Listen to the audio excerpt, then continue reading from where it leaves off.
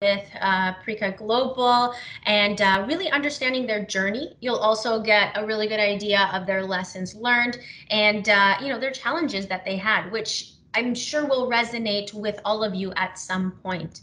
And then to uh, end off the session before the Q&A, we're going to talk to you about driving modern teamwork using Microsoft Teams. Sorry, uh, everything good? Presentation ended. Okay. Yep. Oh, sorry. Okay, yeah. So, um, and that's how we're going to end off the presentation. So let's um, hand it off to Rez to to take us through some common scenarios. Perfect.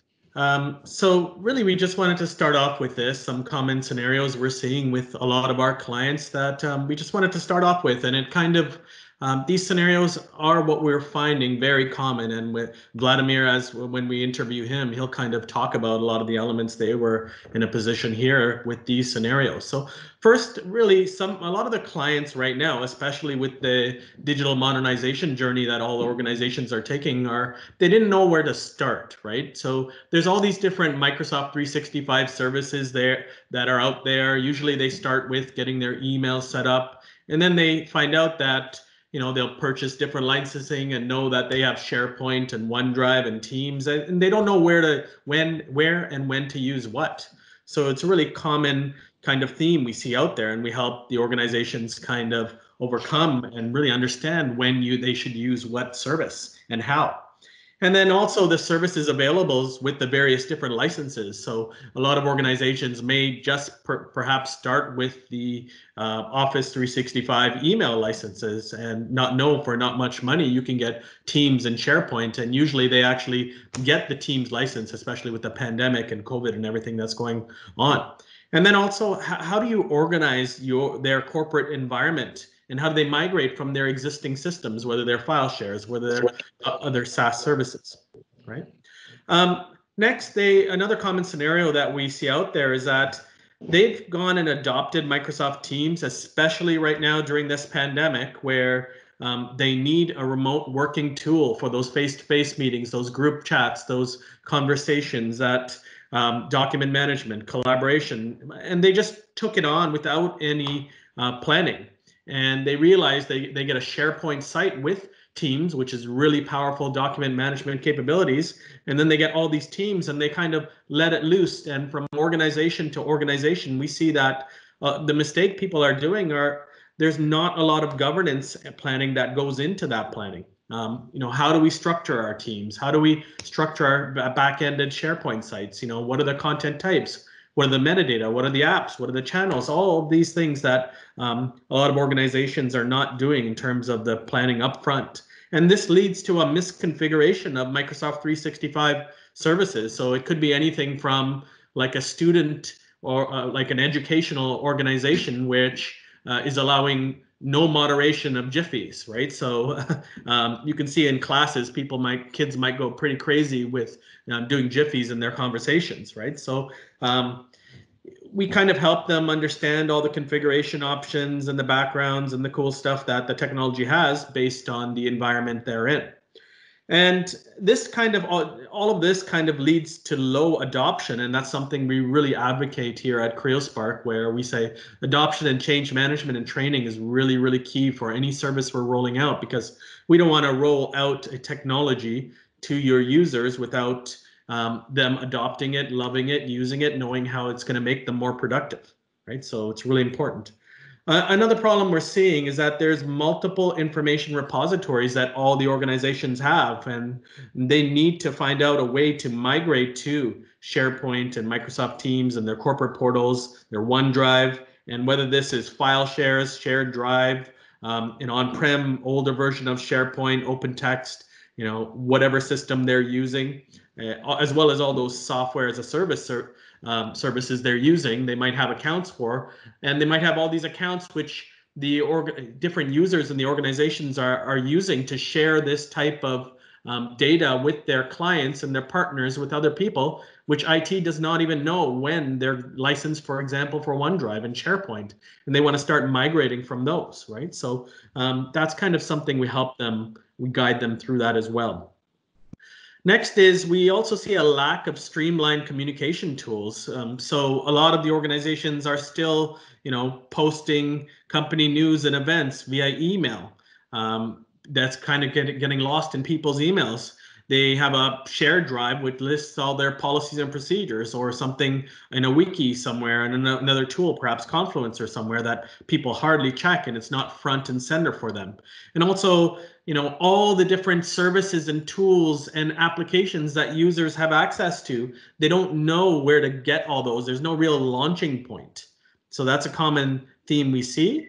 And then lastly, we users have multiple conversation tools and they don't know when to use what or they just don't like using them so they end up reverting to email as their primary conversation tool which um, once you start using teams as everybody here probably does they start loving the fact that you don't have to email somebody anymore you can actually chat with them and kind of replaces the whole outlook email skype slack text messages whatsapp you name it right so really um, here's some key things that we th think are very important for our customers when we're implementing basically any type of portal or Teams deployment or intranet. First, you really need to start with a clear vision that kind of describes how important and how the objectives will be achieved. Um, you want fresh, engaging, accurate content, and you want it organized in a way what makes it find it makes it easy for your users to reliably find what they need when. So an example is I know what I want and I know where it is, so they're going to browse to it.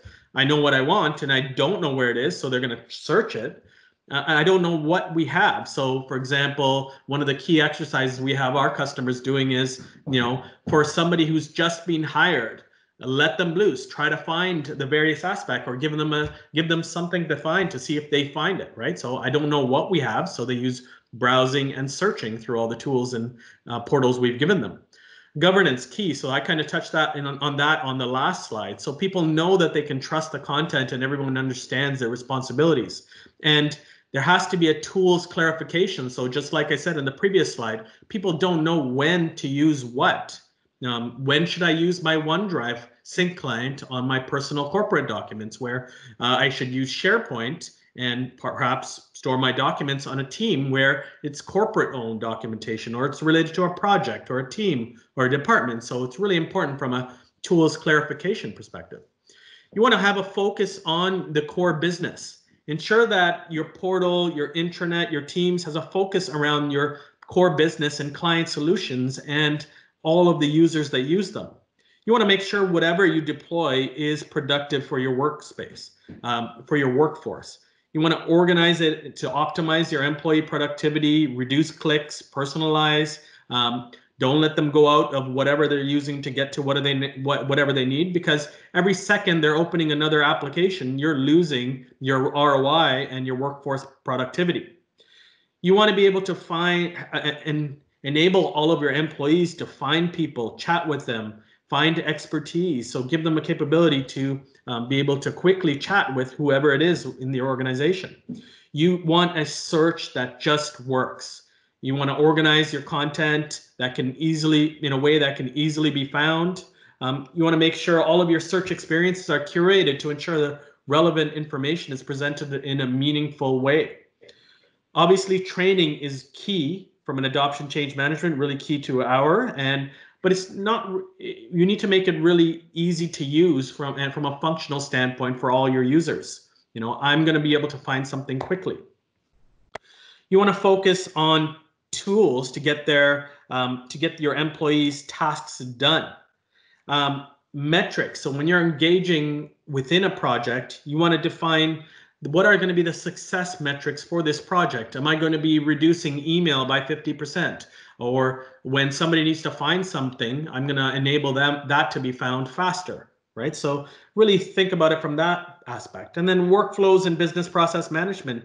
All of these tools within the Microsoft stack enable um, you to optimize your business process management from a forms perspective, from a workflow perspective, from a business process perspective. And all these tools usually are available with the Power Platform and Power Automate, Power Apps, and they can all be integrated into your teams, into your SharePoint portal, into your intranet. So really look at that from that perspective as well. Okay. Now, kind of at CreoSpark, some of the key technical planning and design elements we kind of go to our customers with at the forefront are we break them into these kind of four pillars. We do the information architecture, and information architecture is broken down into things like the site architecture, the navigation architecture, the search architecture, the pages, um, how they're designed, the template architecture. So um, we go into that and we go into it from not only from a portal, from a SharePoint perspective, from a Valo intranet perspective, but we also deep dive go into, you know, how is that going to reflect in Teams? Um, which sites are going to be backed by private channels or which which that are going to be exposed to the portal, right? So you need to keep all that top of mind. Um, you'll the underpinning of all that is the governance, security, and compliant. And we've already kind of beat that to death in the previous two slides. And then the migration strategy. How are they going to move from their existing systems to the new systems, Teams and SharePoint? And ob obviously on the ACM and training aspect. And, and use a combination of both modern SharePoint and Teams for this. You have to look at both and use these technologies together as your application gateway. Um, Another key thing that we've found um, that's really important with our clients is we need to educate users on the communication and collaboration aspects of the portal.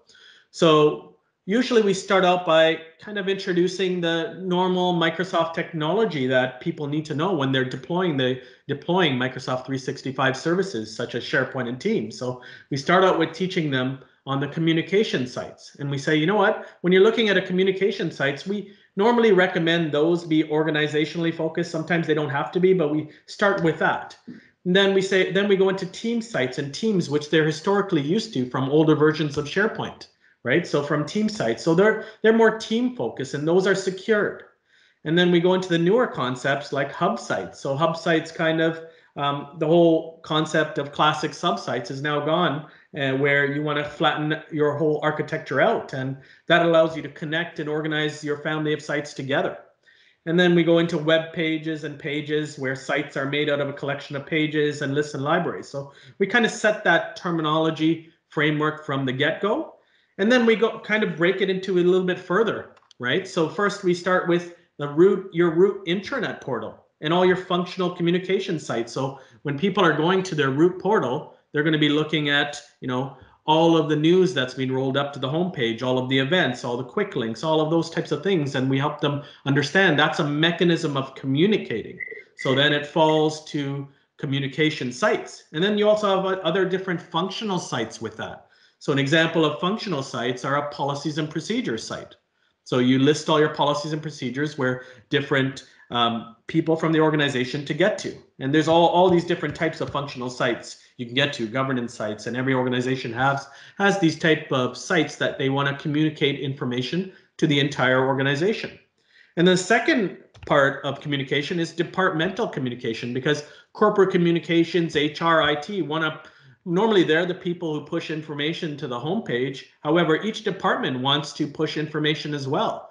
So that's where we go into the fact that um, legal might want to push out, or finance might want to push, push out some year-end information where people need to go to. IT might want a, their own departmental site where they have, you know, the Wi-Fi code for the day or the week, or the policies, open tickets, you name it. So this is kind of, or or um, things that are down from an uptime perspective. So that's where the department wants to communicate information as well.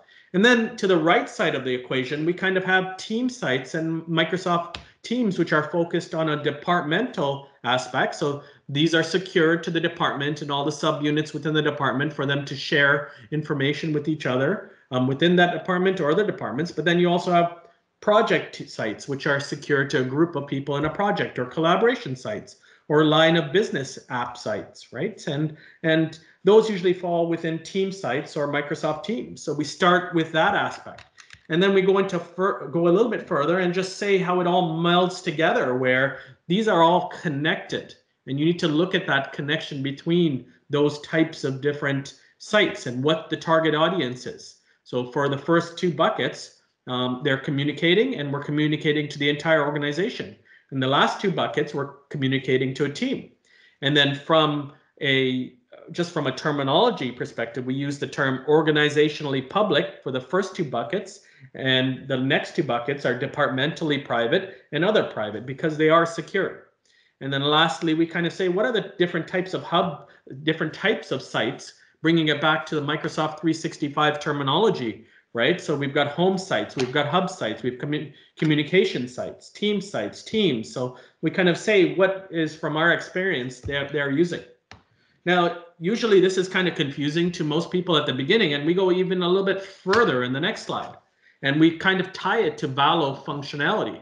So, and the Valo intranet capabilities that Valo brings you are kind of tied, um, but tied to communication aspects, right? We've got our root intranet and functional communication site. So we give an example saying that as any employee, I will use this site as a launching point to get to all of my organization's internal corporate digital assets and applications and be informed of the latest news and events. Now, from a departmental perspective, as any employee, I will visit this site to find departmental specific news, resources, and assets here. As a content publisher, I'll publish departmental specific resources, news, and assets here for my organization to see.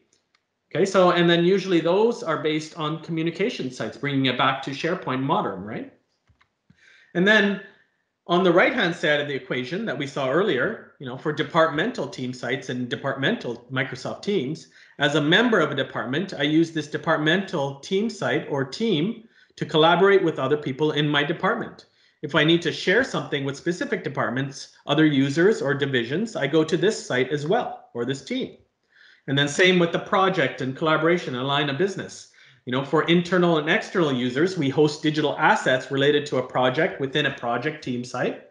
When I need to collaborate with a team, internal or external to my org, I'll create a collaboration team site. When I need to build a line of business application with forms and workflows, I will create a line of business app team site. So this kind of brings it back to um, those kind of buckets of organizationally public communication site and departmentally or, or private team sites or teams teams. And then on the right hand side, we say how that kind of works really nicely with Valo on the Valo teamwork and the Valo teams integration add-ons that you guys are probably going to see throughout these um, sessions that are coming up. Here, I'm going to pass it off to Shafina to get into the nitty gritty. All right. Oh, that's a big echo. Is it gone? We're in the clear. Okay, awesome. So um, I know what Rez just covered was a lot to take in. And so if you want uh, time to absorb this, the slides will be available for you. And of course, you can reach out to us at any time if you want to have a deeper understanding of that. Um, so now we actually get into the meat and potatoes of this whole presentation where we're going to have a conversation with one of our clients. Um, so I introduced him earlier today. His name's Vlad. Uh, he leads up the information systems department at Prica Global. So Vlad, um, you know, before we actually get into the real questions here, why don't you give our audience um, an understanding of what your organization does? Okay, first of all, thank you, Shafina, for giving me the opportunity to speak about our experience with this journey. I would like to say a couple of sentences about the company where I work. So our organization consists of different companies, including like construction, architecture, design, and property management, which are all divisions of our parent company, which is Quick Global Enterprises. Residential property management and management are the core of what we do with a strong tie to our local community. With 15 plus years of experience, Prica has earned a reputation of excellence in the residential market, properties, and around Ontario. Our property locations are selected to provide accommodations to the tech and university sectors.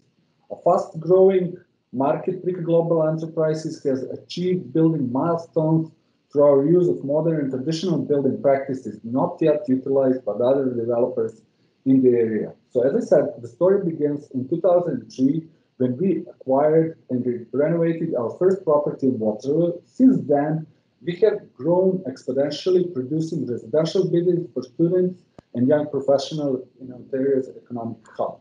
Our company has a passion to help our community grow. So that was something brief about the company that I work. Awesome.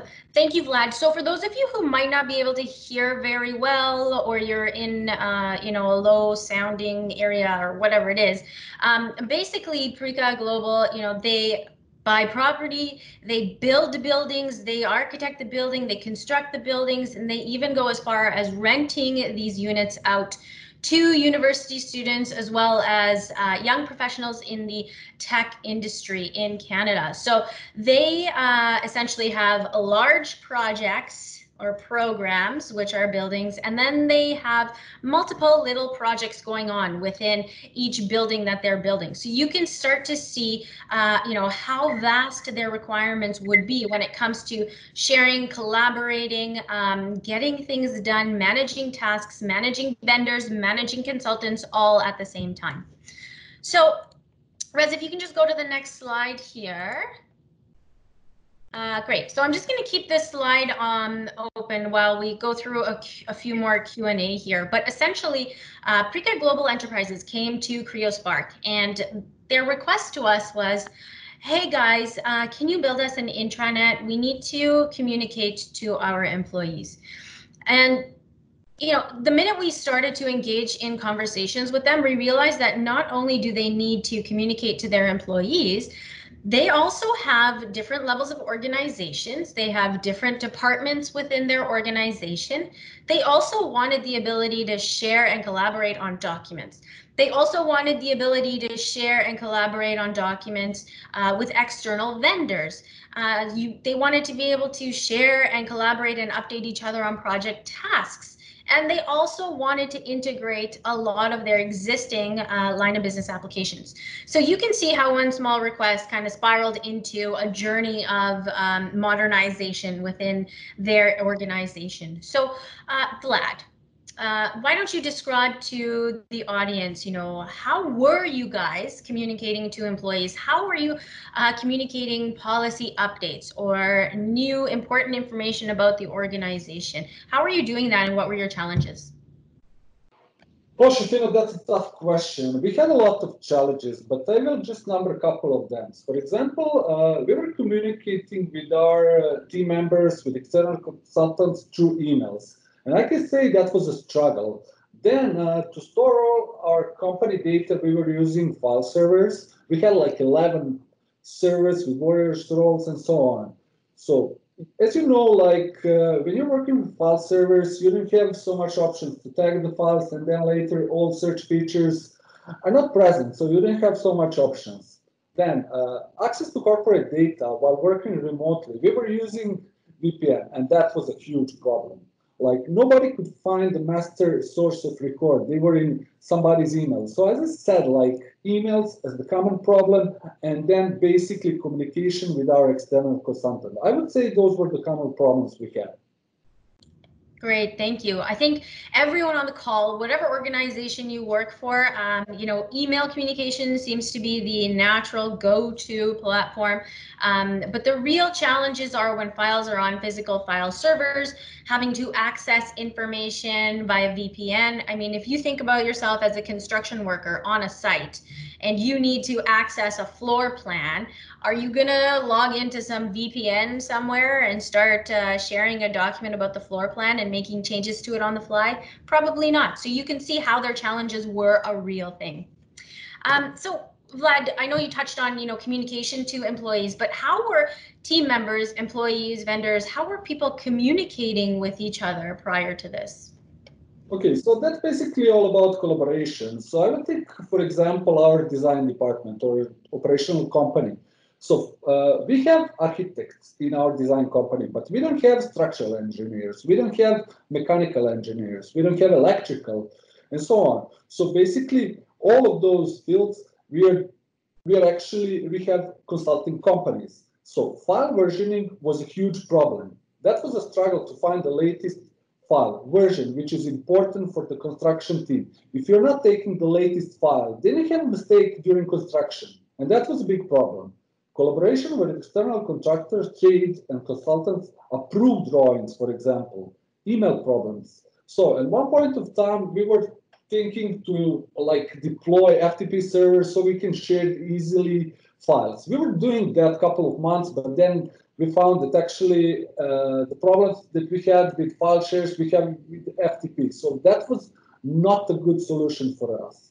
And then there wasn't a mandated defined collaborational tools. We were literally using everything what was available for us. And that's a problem. And then next thing, there wasn't a defined structure and hierarchy for people to store and retrieve document documents and everything what they're looking for. So there is no one space. Everything was like structured to different places and so on. So that was like some problems and challenges we had with collaboration.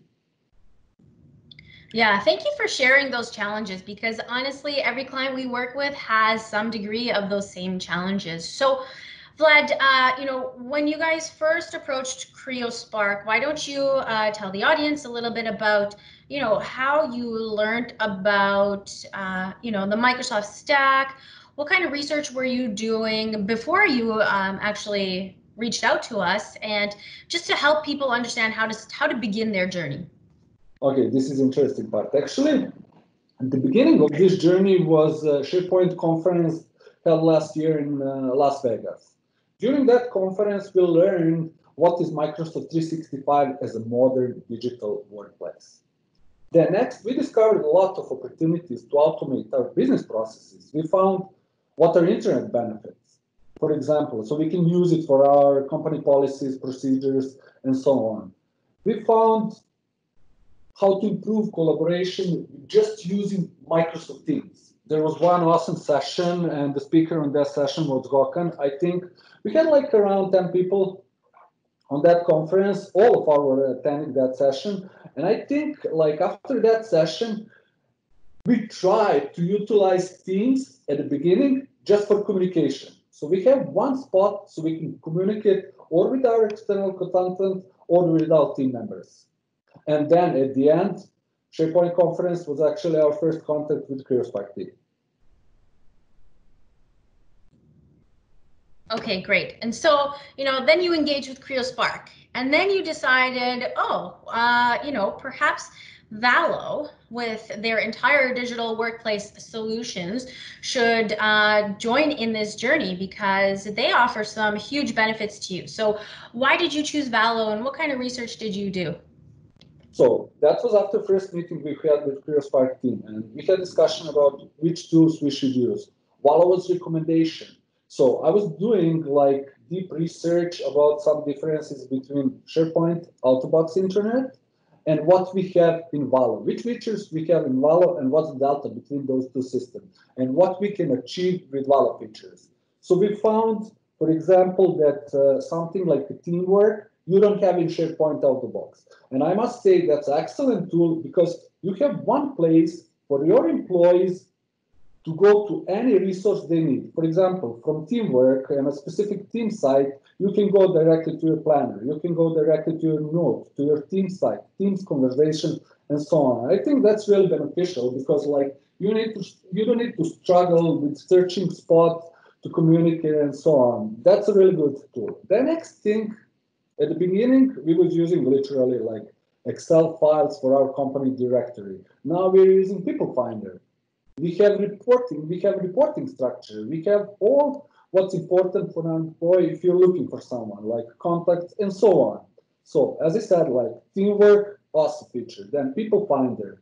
Next thing, uh, I would like uh, maybe like news and events publishing. It's totally different experience if you use it in Valo rather than using SharePoint out of box.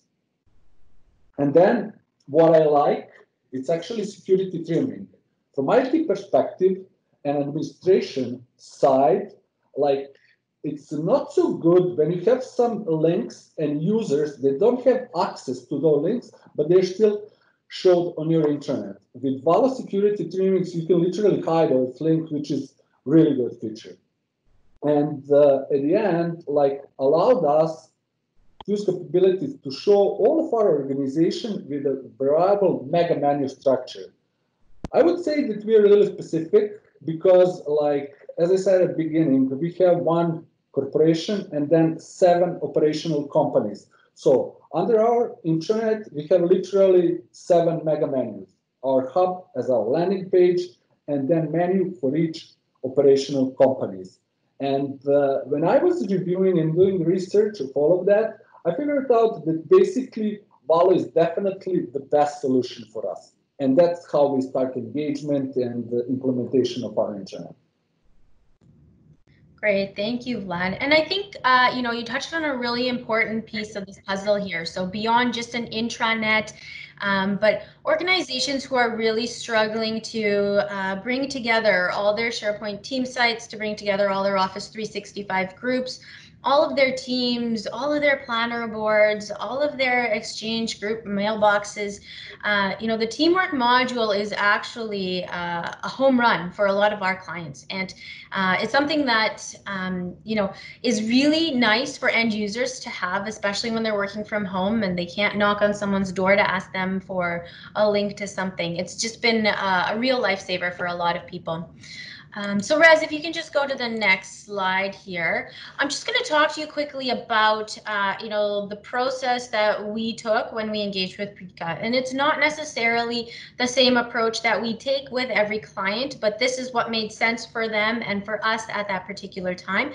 And it seemed to, uh, you know, the steps that we took seemed to really make a lot of sense. And so we started this envisioning and planning engagement, which took a couple of days, and that involved us sitting down with every single department at Prica, every single organization, and understanding what their challenges were. And there were no limits to what their challenges were. We didn't tell them that this is specifically about how they communicate and collaborate. We really wanted to have a holistic understanding of every department's challenges so that we can present them with opportunities and that we can make recommendations on how to implement these solutions and making sure that we're focused on the end user adoption. So, you know, even though we're working with Vlad in the IT department, our end goal was always the end users because if your end users obviously are not using the platform, then we can't really deem this as a success. So that's why the envisioning and planning engagement was really, really critical to this. We then went into um, actually installing the digital workplace and teamwork solutions and at the same time uh, planning out the information architecture the security architecture and then going through every organization and department site implementing their processes migrating their documents building everything out for them with them hand in hand. And then we also focused on, you know, how are they going to integrate all of their project sites, their building sites, and making sure that that information is secured and managed from an information management perspective. And then lastly, we went into designing their Microsoft Teams strategy, which was always top of mind. It wasn't necessarily the last step in the phase, but that's really what brought everything together for their projects and for their teams to actually be efficient in their day-to-day -day work. Um, so the last step was Teams integration, but it's always, always top of mind. So Vlad, um, you know, why don't you tell us how this envisioning and planning engagement actually benefited you guys? I know I kind of touched on it, but it's nice to hear it from your from you. Yeah, I would like to repeat that because actually envisioning and planning engagement, that's information architecture. And I think information architecture is the most important part in our journey. So for example, this included site architecture, navigation architecture, search architecture, page design, page templates. And that's the most important part. Uh, uh, part. If you have that structure at the beginning, it's going to be much more easy to continue with this journey. We had a chance during uh, envisioning engagement, we had a chance to find what are actually our opportunities. And then at last, to categorize opportunities and to prioritize what's important for the beginning and to focus on that during the start of implementation and then later to leave what's not so important so we can continue our work and to continue with our project because that's core of our business. Great, thank you. So, um, you know, we only have a few more minutes left, so I'm going to jump around to perhaps this other question about uh, your building and project sites, right? So stepping away from the actual corporate intranet part, but your actual building and project sites, you know, what did you guys learn about storing documentation, organizing them, tagging them, as opposed to having them on physical file structures? Yes, so uh, before I answer that question, I would uh, I would like to say something about type of files that we're using. So during this engagement, we figured out that we have actually two type of files. We have something that we call departmental work, and we have something that we call project files. Because as you know, like every building for us is one project. So we were desperately needed for one place where we can keep all the important information for one building one of our projects. And that's actually our building hub site. On our building hub site, we have all our operational companies. Every operational company has one team site, and they're storing their information to those team sites. In the background, we have corresponding team for each team site. And on team level, we are engaging our external consultant. So that's basically the structure that we are using right now for every new project. One project, hub site, and then team sites for each operational company. Okay, great. And in terms of that, in terms of your project documentation and your department documentation, uh, you know, you guys use that as an opportunity to start standardizing your naming convention. Uh, you started to see the opportunities of tagging your documents with, uh, you know, building codes, making sure that the project titles were there. Uh, you know, the documents that were in a final state were actually marked as final as opposed to draft versus in progress. Um, you know, you guys really took your file shares to another level as soon as you uh, migrated into your project sites. And so, um, you know, Bob, why don't you tell us how your project sites now actually connect directly into your Microsoft Teams structures so that everything remains consistent. So basically, yeah, I can speak about that. So as I said, we have a team site for each operational company. We have various document libraries. But what we are doing with teams, every, as you know, like every team site has a corresponding team. So we are engaging our external users to teams, but we are not giving them access to our corporate data because they don't have access to those corporate libraries. And like that's our setup right now. So we have our external consultant in our teams, but they don't see document libraries that are tied strictly to our business. And of course, we're using tagging so we can easily search for the files later and so on. But we have planner for each team site. We have all of our tasks on that project for us going to be to manage our project in Microsoft Project and then push the task to, to Planner. So that's what we're doing right now. Great. And I think, uh, you know, the fact that you're using all of these libraries uh, and you've got a whole bunch of hub sites in SharePoint, the integration between hub sites and libraries with metadata is still being developed in its entirety by Microsoft. But, uh, you know, we have four minutes left, so I'm going to pass it off to Rez for him to A, show you some of the lessons that were learned, as well as a solution that we implemented with Prica. Perfect. So I'm just going to go through two lessons we've kind of learned with this client, and we kind of go through with most of our clients on on deploying solutions to, for, like this from a modern teamwork perspective. So first, when you're designing your information architecture, you must keep, keep Microsoft Teams top of mind. The reality now is that now more than ever, Microsoft Teams is the hub for teamwork. And it's where a normal user spends 90% of their time especially during this pandemic when everybody's working from home. Like they don't go to their they don't go to separate web pages to go to their corporate intranet. They're kind of working. They'll go there to see news. They'll go there to see events. They'll go to search information. They'll go to find something. But normally their daily work is meetings or chatting or communication or getting documents, right? So that's kind of where they're spending a lot of their team. So it's key to understand that there has to be a correlation between your corporate portal, your intranet, all of your site collections with Teams. And you need to know that you're, whenever you create a Teams, it's backed by a team site. So um, there might be a need for chatting and meetings with respect to that team site that you have to have a team backing in.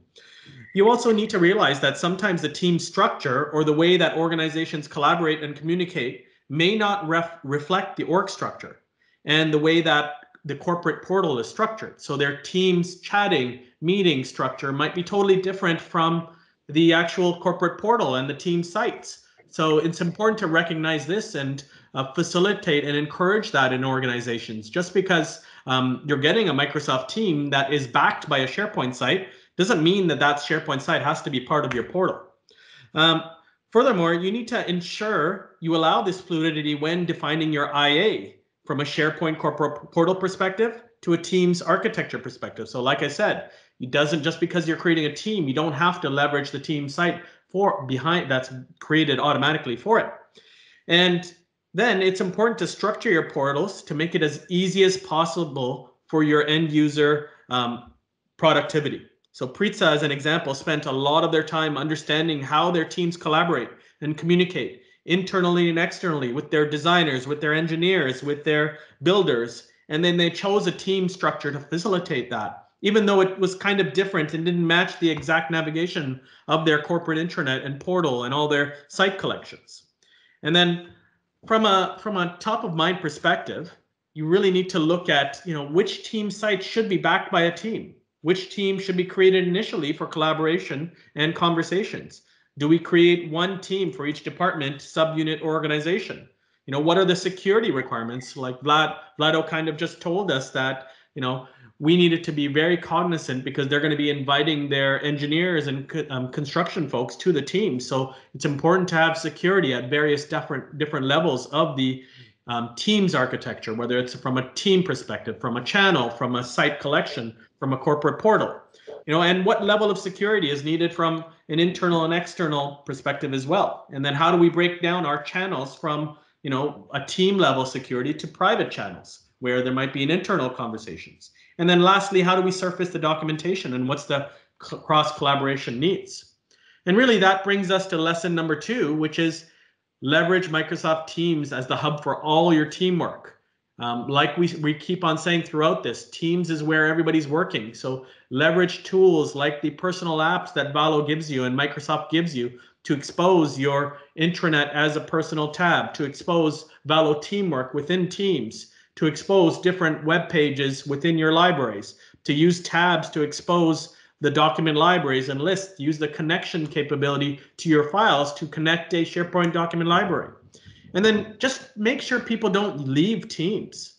And then lastly, um, we've actually developed this thing called the Content Explorer app just for this specific use case where organizations really, you know, their teams conversations and their teams may be different um, in the way they collaborate, chat, their meetings from how their portal structure is. So what we've done is we've created this thing called what we call a Content Explorer, which is a Teams extension app built on SharePoint Framework it facilitates all the document manage management needs. So it allows us to add a um, add this Explorer tab, this Hub Files tab, to any team, and you could point to any site collection, and it obeys the security that the user has to see the various document libraries, the lists, and everything from a security perspective.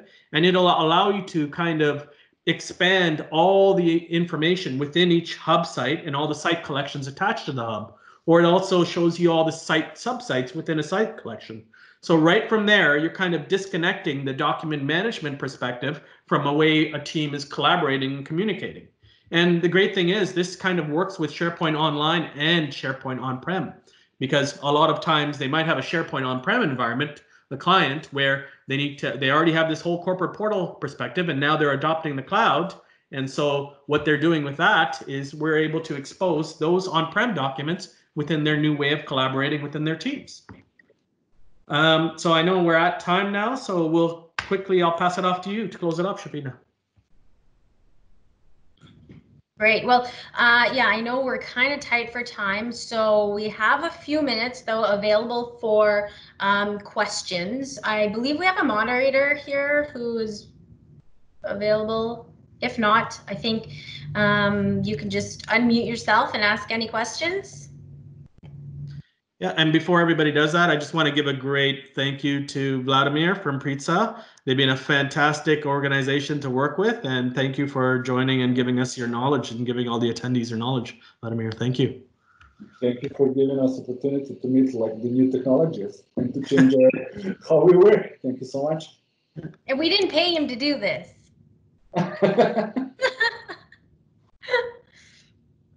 So does anybody have any questions? Feel free to come off mute.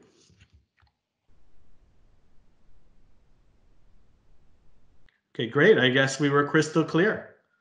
Looks like. I'm not a moderator, but I just wanted to thank you guys. It was an awesome session. And hi, Vlad. It's Olivera. It's been a long time no see. Hi, Olivera.